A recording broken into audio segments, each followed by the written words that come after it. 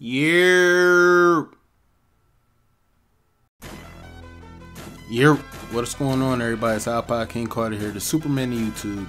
I know, I know, I know I'm giving you this juicy info, but let's talk about animations, collisions, bump animations, simple physics. You know, I, I'm not too big on this subject just because simple fact that I can't believe anything until I get my hands on those sticks.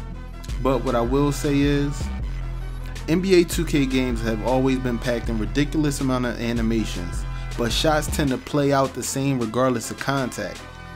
Thanks to the new dynamic shot generator. Yeah, it's something brand new that they brought out this year. It says that the game now uses a physics system to take an account for momentum, the degree of contact, player size, and strength ratings.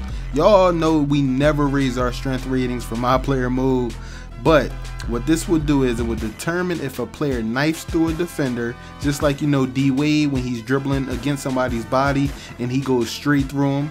If a player is stopped at the point of contact, like how we get the bump animations this year and we back up and we be like, damn, like boy just took my head off. And or the person gets the shot off but stumbles and falls to the floor. Simple as you take a jump shot, you fall on your back, your legs go up in the air like Shaq, but you get up and shake it off.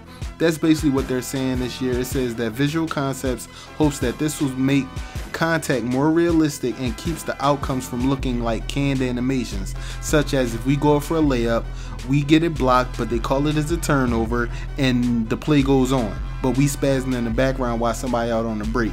Now, it says that the physics system introduced by the dynamic shot generator also affects rebounding, blocking collisions, and charging.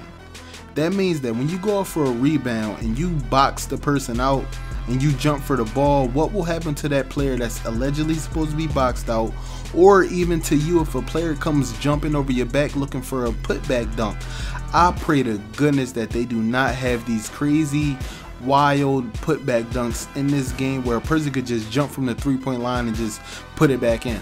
I'm, I'm praying for that. Also, blocking collisions, such as when you're going for a Euro step you get your head took off. They call it as a block, as a turnover, no matter what. Would there be more fouls? Would there be more movements towards where if you do a Euro step and you're going up with your right hand and that person bumps you from the right, can you switch over to the left without going all the way under the rim?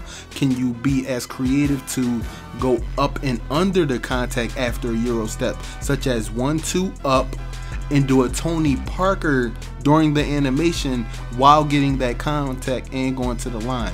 That's what I want to know is going to be in the game. So when I get the 2K13 team up, I promise you, I'm going to be looking for all these different moves, trying to get right, trying to get everything situated for these info videos. And I'm probably going to put it in one nice little live stream and just talk about it.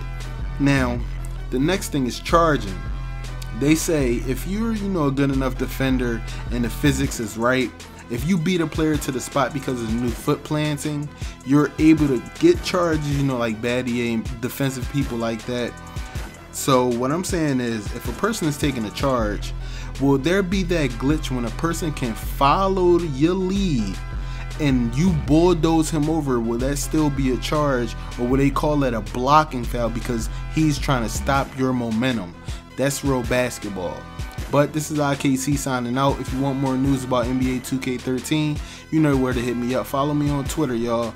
All right, peace.